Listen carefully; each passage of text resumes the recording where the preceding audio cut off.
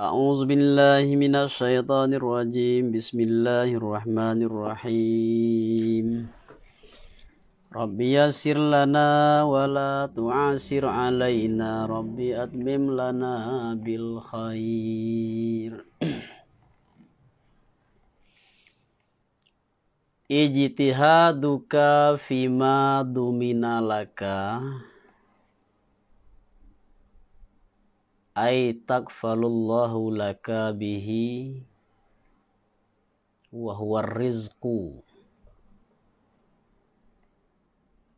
Itu ada tangko tafdilan tu apa tu apa ya? Tafaddulan. Tafaddala ya tafaddalu ya. Tafaddulan minhu wa ihsanan. Qala ta'ala wa ka'ayin wa ka'ayyim min dabbatin la tahmalu rizqaha. Allahu yarzuquha wa iyyakum illa ghairi zalik minal ayat. Baramulo ba sungguh-sungguh engkau padoma yang lah dijamin orang hioma bagi engkau artinya mengaku Allah bagi engkau dengan yuma. Dan hionya ma tu ba'ala hionya rezeki. Karena karunia daripadanya Allah. Dan kebaikan dan ihsan. Berkata Allah Ta'ala dan amat banyaklah daripada dabah yang tidak menanggung ya dabah itu akan rezekinya dabah. Baramulu Allah ba'a baramulu memberi rezeki Allah akan yudabah dan akan kamu. Hingga lain demikianlah daripada bak barapu ayat. Wa taqsiruka fima tuliba minka dan takasi engkau atau lalai engkau dari padoma yang dituntui orang yuma daripada engkau.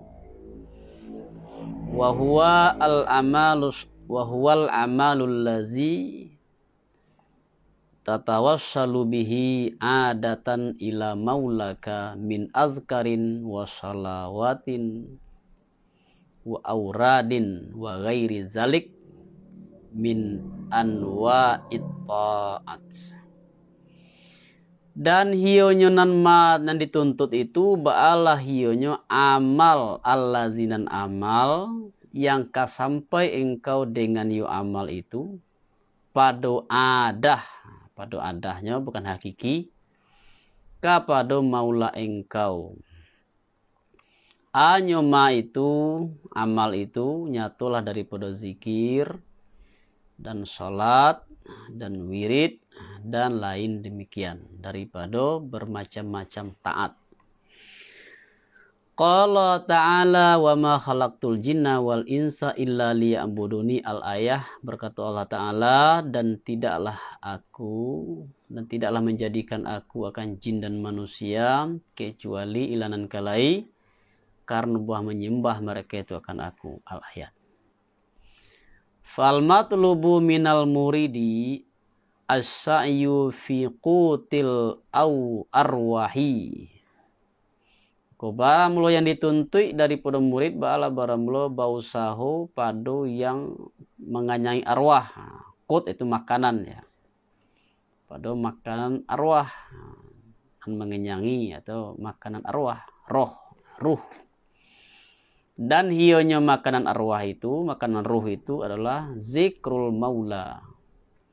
Wa fi'lu ma yuqarribu ilaihi dan dia namakan roh itu namanya roh itu ba'alah ionya zikir maula mengingati maula atau menyebut maula. Dan mempabuik ma yang kemahampikan yuma kepadanya maula. Lakutul asbah. Lakutal asbahi tidaklah mengenyangi tubuh li'annahu qaimun bihi ghairuh wa huwa maulahu karena bahwa sungguhnya mengenyangi tubuh itu bahwa sungguhnya telah berdiri berdiri dengan yonan lain mengenyangi tubuh tadi itu selainnya si murid. Dan yonan lain itu balainya maulanya murid. Dalilun alantimasi dalilun alantimasi ay umyul basirati minka Aba Allah baramulo lah kabar dari ijtihadu dalil atau pertanda ateh hapus artinya buto basirah mato hati daripada engkau. Wahya ainun fil qalbi tudrikul umural ma'nawiyata kama annal basar kama annal basara yudrikul umural mahsusah. Dan hionyo nan basira tu bala hionyo mato pada hati. Mandape iyo mempadape iyo matu itu akan pekerjaan-pekerjaan yang maknawi. Seperti ma yang bosunganyo mato kapalo albasar Ba'ala sungguhnya mempadape iyo albasar itu akan pekerjaan-pekerjaan yang mahsusah yang diindrai itu yang yang kasat mata yang di alam musahadah. Dan pada dawafi ta'birihi bil ijtihadi dan pada maibaratkannya pengarang dengan ijtihad dengan bersungguh-sungguh isyaratun ila anna talabal talabar rizki min gairi ijtihadin la ba'sabihi lil murid. Wala yadullu alam timasi basiratuhu summa qala. Dan pada maibaratkannya pengarang dengan ijtihad dengan bersungguh-sungguh. Anan padonyo isyarat kepada bersungguhnya menuntut rezeki dari pro indak bersungguh-sungguh. aba Allah sungguh tidaklah mengapo labak sabi tidak apa-apa never mind bagi si murid dan tidak perlu menunjukkan ate hati hapus atau butonya matu hatinya murid. Kemudian berkata ya pengarang. Summa qal kemudian berkata. Jadi uh, kaji kita malam kini masih berkaitan dengan yang di belakang. Yang matu arih nafsaka minat tadbir. Jadi kalau di belakang pengarang mengatakan pengarang melarang murid itu untuk tadbir ya. Tadbir yang melelahkan. Jadi senangkanlah, rehatkan dirimu dari tadbir yang melelahkan. Nah, tapi kalau tadbir itu sekedar tadbir yang berkaitan dengan memenuhi kebutuhan hidup itu dibolehkan. Jadi kalau di belakang tadbir kini uh, bukan tadbir lah, bukan uh, masih berpikir, bukan atau berencana, tapi lah di karajuan. Jadilah dilaksanakan bahwa sungguh-sungguh seseorang itu pada sesuatu yang lah dijamin yaitu rezeki. Di masalah rezeki yang lah dijamin oleh Allah nyoba sungguh-sungguh. Ijtihad itu kan apa tuh uh, dari kata jahada ya jahada ya kata jihad bersungguh-sungguh artinya yang ijtihad itu mengerahkan seluruh pikiran, tenaga, daya upaya all out itu. Di untuk masalah rezeki yang dijamin seseorang itu bersungguh-sungguh. Kemudian dalam masalah sesuatu yang dituntut darinya yaitu amal, orang tadi taksir atau taksir itu lalai. Tidak diacuh aja dah. Jadi kalau untuk rezeki sangat madok, sangat bersemangat. Tapi kalau untuk badai, ah, tidak ada waktu, tidak sempat. Di kata pengarang, orang yang seperti itu, itu pertanda sudah butuh mata hati.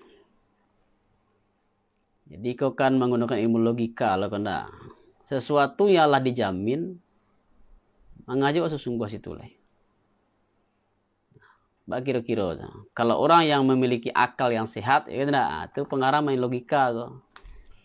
Sesuatu yang lah dijamin oleh Allah pasti awak akan mengajar awak ibuh nalai mengawak bata kaki mana sinan yang patut kita bata kaki itu yang patut kita buat sungguh-sungguh itu fima tuliba minka. Suatu yang dituntut darimu. Nah kau yuk kalau anda di kerajaan ada orang lain kerajaan doh kalau anda sembahyang tidak ada orang lain bisa menggantikan awak. Nah, jadi kalau rezeki itu sudah dijamin oleh Allah. Ah? Takasih kok lalai mesti. Dilalaikan. Hmm. Kasarakus ya kurang singke nah ya singke mana ya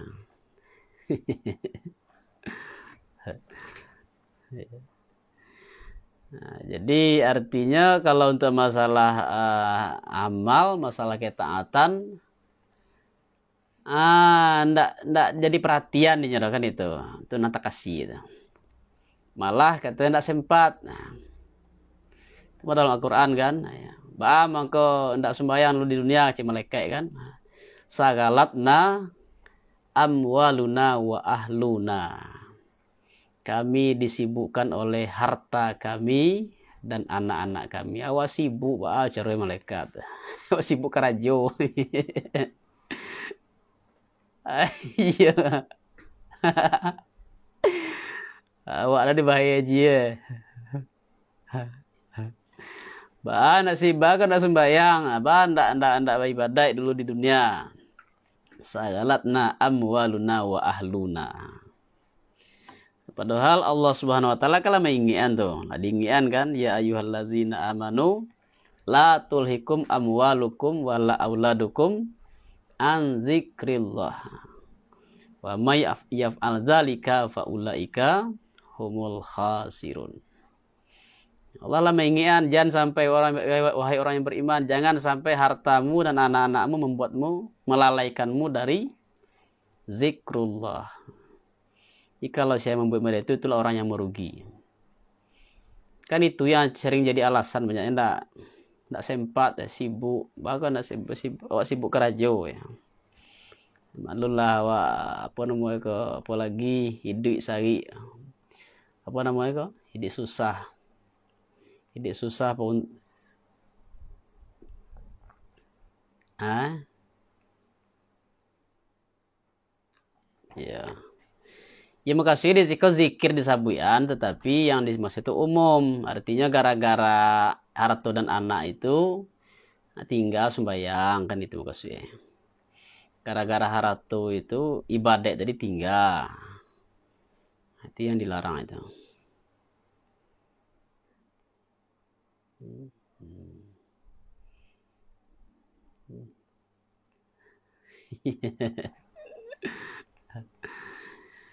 Ya, dilarang itu kan yang itu yang membuat awak apa, membuat awak lalai kan itu. Bukannya hakikat ado itu yang dilarang dah, bukan harato itu yang dilarang dah. Tapi yang dilarang itu jangan sampai harato itu membuat awak lalai.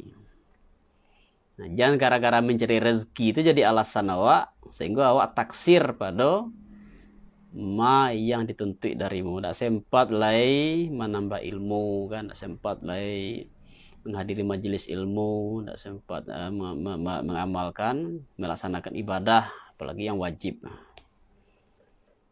itulah dia hidup sehari para senseso ya enggak kadang-kadang. Jadi hmm.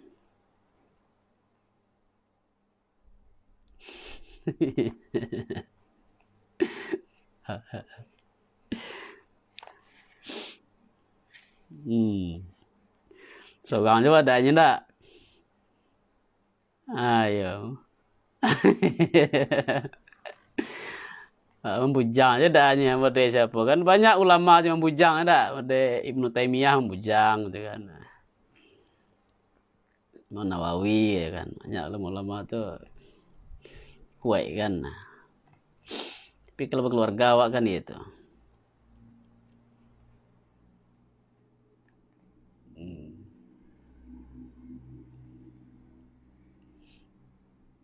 Ya. Nah, jadi kita ulang balik di pengarang menggunakan ilmu logika juga kan. Artinya mengajak kita berpikir gitu kan. Satu yang lah dijamin itu patutnya kita tidak perlu bersungguh-sungguh benar. Sebab lah dijamin kita hanya diminta berikhtiar. Sebab diminta doanya.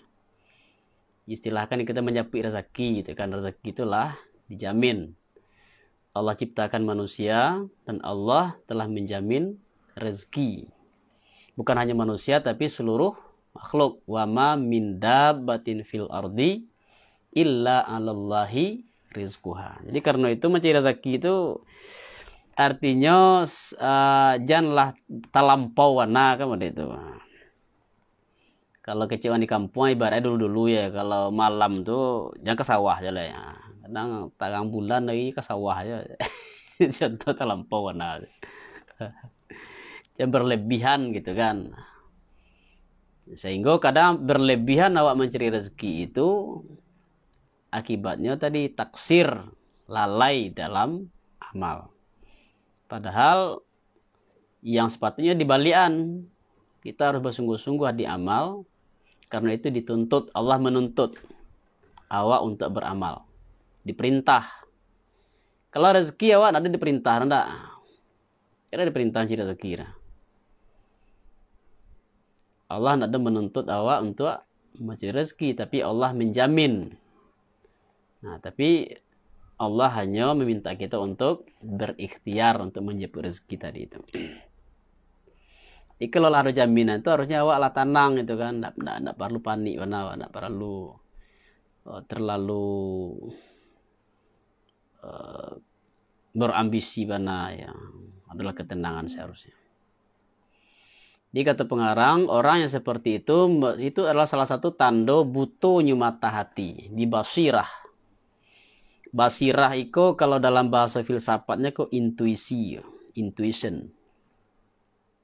Nah, di intuisi itu dia teh akal. Nah, jadi akal, akal itu rasional kan, rasional akal. Maka ma'rifah itu itu didapatkan melalui intuisi, bukan melalui akal. Makanya dikatakan ma'rifah itu berbeda dengan ilmu. Nah, jadi kalau ilmu itu didapatkan melalui yang pertama panca indera, yang kedua melalui rasional, akal, yang ketiga melalui otoritas atau khabar sadik. Tapi kalau ma'rifah yaitu ilmu yang didapatkan oleh hati itu, ma'rifah itu didapatkan melalui intuisi. Nah, karena itu ma'rifah itu sifatnya berbeda dengan ilmu. Abeda salah satunya adalah ma'rifah tadi ilmu objek dari ilmu tadi hadir dalam dalam diri. Jadi orang yang mencapai ma'rifah itu objeknya adalah Allah. Allah itu merasa hadir dalam diri, dalam hati tadi. Jadi kalau kita contohkan itu kan zuknya rasu tadi enggak seperti kita merasakan rasa sakit misalnya ya, rasa sanang, nah, rasa lapar. Itu tuh kan hadir dalam diri awak tuh. Di objek pengetahuan itu hadir dalam diri. Nah, itu yang intuisi itu. Objek pengetahuan itu hadir dalam hati. Kalau ilmu rasional ya Ah, itu ya sama itu ya. Jadi ilham itu, ilham yang ke hati itu, nah, itu kan jadi ma'rifah itu kan banyak nama itu. Bisa disebut dengan ilmu laduni karena itu dari pemberian dari Allah. Bisa disebut dengan ilmu mukasafah. Kamu ke mukasafah karena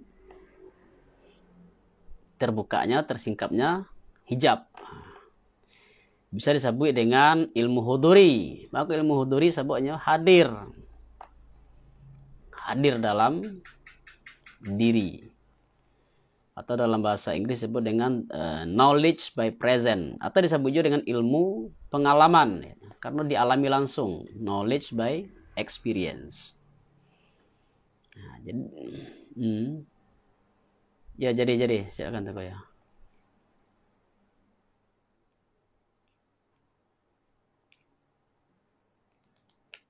ya. -hmm.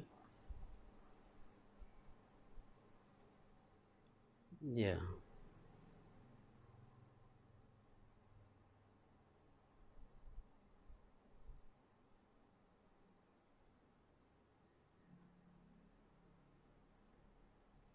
Hmm.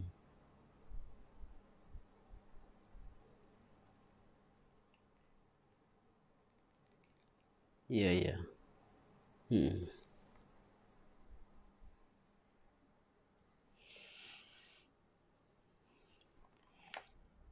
kalau para ulama timbangannya dinya itu ilmu apa aja ilmu akidah dengan syariah itu kan. Jadi kalau apa yang didapatkan melalui muka safah tadi itu tidak bertentangan dengan akidah dan syariah itu betul ya. Nah, tapi kalau bertentangan dengan syariah dengan akidah berarti tidak betul itu dah. Nah, itu, itu timbangannya itu. Nah, ya. Hmm.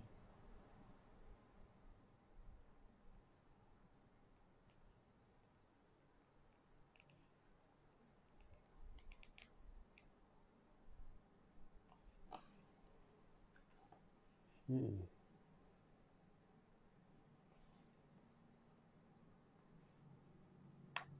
Hmm.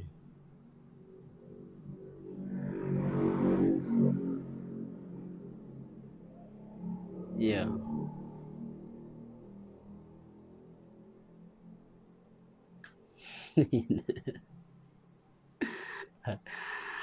ya itulah apa namanya itu para lu apa tuh namanya. Kalau dicari ulama-ulama yang apa? Uh, seperti yang bahkan dikatakan ulama yang mabuk kan Sufi yang mabuk tuh Abu Yazid kan de, de aliran mabuk nama dia sufi mabuk. Ha, sebabnya sering ada keluar satahat dia kan. Di menurut Abu Yazid itu uh, kan ada kata-kata tadi itu. Lau nazarta ila rajulin u'tiya minal karamat itu kan. Fala tagtarru bihi. Apabila Anda melihat seseorang itu, seorang laki-laki yang diberikan karamah itu kan? Seperti uh, irtifa fil hawa naik ke angkasa ke, ke, ke udara atau berjalan di atas air. Jangan kamu tertipu dengannya. Sebelum kamu melihat bagaimana dia menjaga undang-undang Allah bagaimana dia eh, posisinya itu di di syariat bidang syariat. Nah, jadi Abu Yazid pun menjadikan syariat itu sebagai timbangan tadi itu, ugang batu indah. Eh. Kedua kalau laki ramai itu kan batu bisa dia kerjanya ndak. Lah jalan DT DTI kan macam ya ya itu kan atau nyelah bisa di tewawang ya. Dan sembayang tewawang. Nah kata Abu Yazid, jangan tertipu dengan orang yang seperti itu. Caliak dulu bagaimana orang tersebut menjaga syarat, menjaga syariat.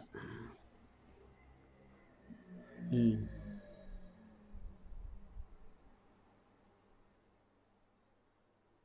Hmm. Paham kasih tadi?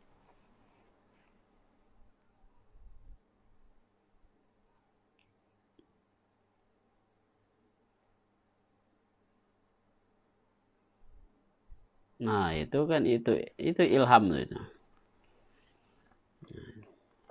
Itu ini dapat yang intuisi namanya itu. Jadi uh, sesuatu yang ilmu yang langsung ke hati itu, nah, itu ya yang dapat intuisi namanya. Sebab itu ya ilmu yang lang pemberian kan. Jadi beda itu ilmu yang didapat dengan intuisi itu. Awak tidak bisa dapat itu langsung loh.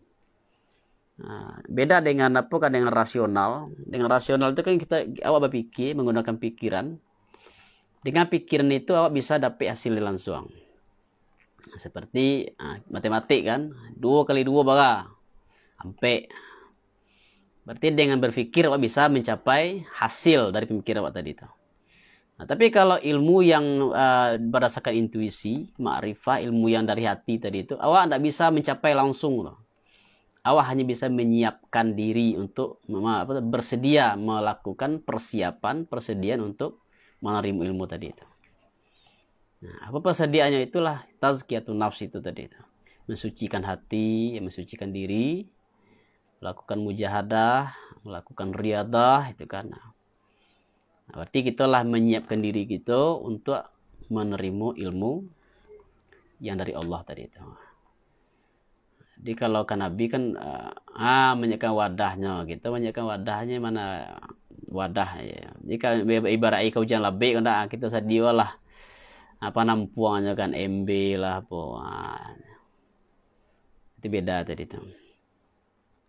Jadi intuisi kau pun lah diakui oleh filsuf barat. Nah, di, di antara filsuf barat itu yang mangke intuisi kau adalah uh, filsuf dari Perancis itu, Henry Bergson. Henry Bergson. Bergson tulisannya kan. Henry Bergson. Beliau lah yang mangke uh, intuisi itu sebagai salah satu alat untuk mendapatkan ilmu. Tidak boleh itu dia akal atau dia rasio. Nah, dan itulah uh,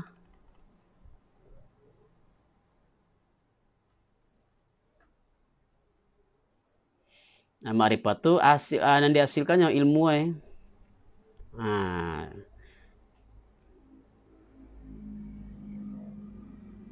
Hmm.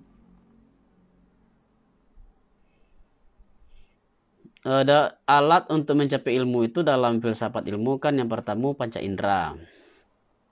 Nah, yang kedua akal. Nah, yang ketiga kabar sadik. Nah, kabar sadik atau otoritas kan. Seperti Al-Quran, hadis itu kan otoritas tuh.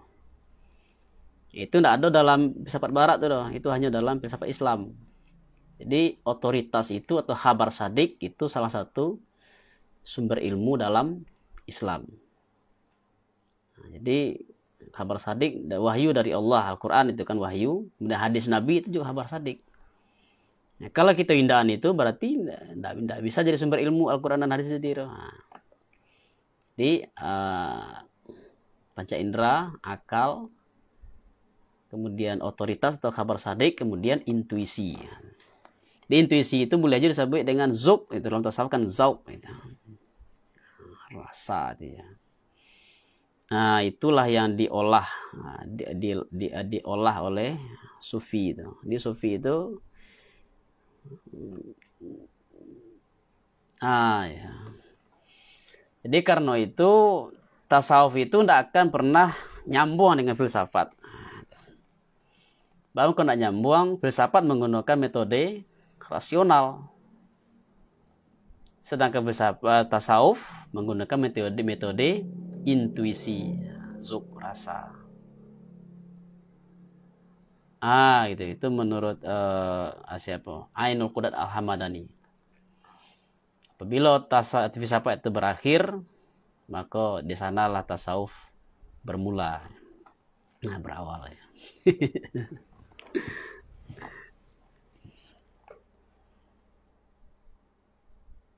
Nah, jadi itulah basirah tadi ya. Jadi eh, kebalikannya orang yang nyalang basirahnya tadi Tentu terbalik enggak kebalikannya, sebaliknya yaitu bersungguh-sungguh pada apa yang dituntut darinya yaitu amal.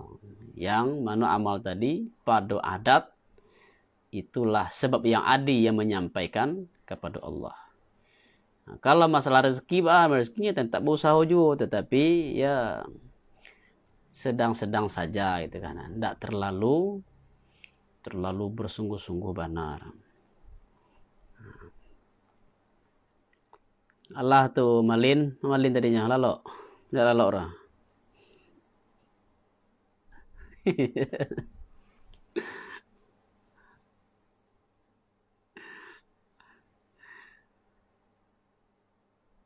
ah, ya. Kau di di dicampurnya apa ilmu sekali kan. Nah, sebabnya berhubungan dengan apa ilmu, basirah.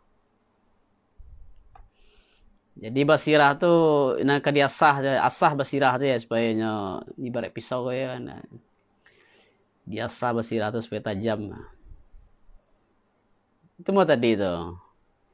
tazkiyatun nafs mensucikan diri mensucikan jiwa sucikan hati dari segala sifat-sifat tercela kemudian hiasilah hati atau diri dengan sifat terpuji kemudian mujahadah yaitu memerangi hawa nafsu kemudian apalah riadah memperbanyak amalan sunat yaitu wirid-wirid zikir dan lain sebagainya itulah disebut dengan riadah ya latihan batin Aduh. Nah, ya. jadi uh, disebut tasawuf itu identik dengan kalb. Kalb, hati, intuisi. Kalau filsafat itu menggunakan rasio. Alatnya ilmu mantik, logika. Ini dua-dua peguno kan. Jadi peguno satu ya. Beda di kalau di barat kan indah. Di barat cici alirannya ya. Pertama dulu aliran rasionalisme kan. Nah, rasio. Hanya akal yang bisa mencapai pengetahuan. Nah, datang lo seorang filsuf lain, anda ada empirisme. Hanya empiris yang panca indera yang bisa mencapai pengetahuan.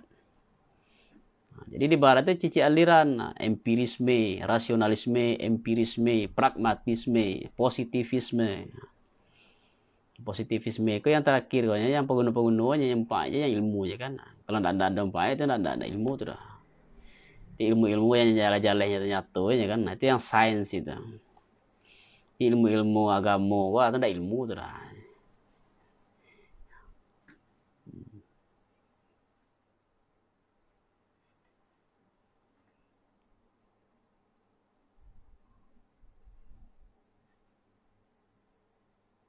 Di mana Ji? Hmm. Hmm.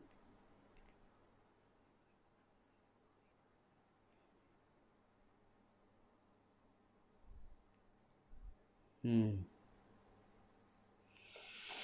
Naluri itu hmm, kalau kece uh, si apa uh, Henry Bergson itu intuisi itu sebenarnya naluri yang tercerahkan. Nah, jadi intuisi itu asalnya naluri, tapi naluri itu lah, lah, lah level atas gitu kan. Nah, jadi sehingga lah lah dia rasional lah dia intelek loh akal. Masuk atau naluri itu kan. Nah, di naluri itu intuisi itu naluri yang sudah tercerahkan. Ya, jadi mah apa kitab itu bisa dia foto jadi bisa aja masuk atau jadi Allah memberi hidayah itu kan bisa melalui panca indera itu kan melalui akal itu kan melalui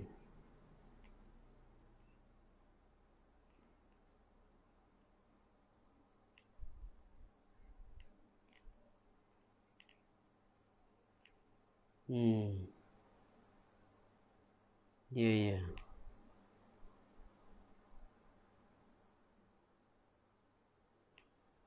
Hmm.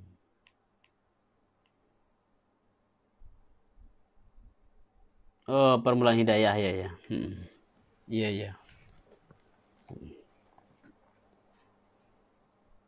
Ya nanti kita kita cek. Hmm,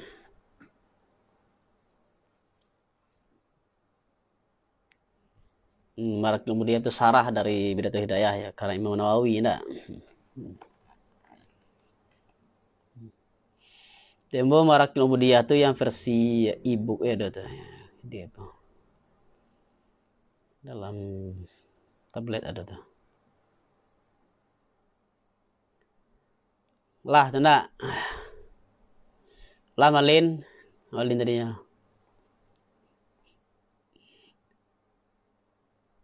Ah, sangat seboleh gimana?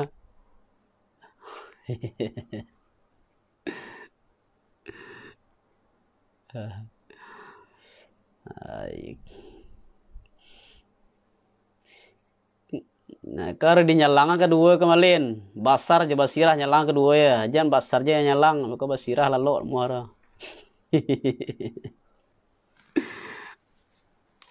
Hai.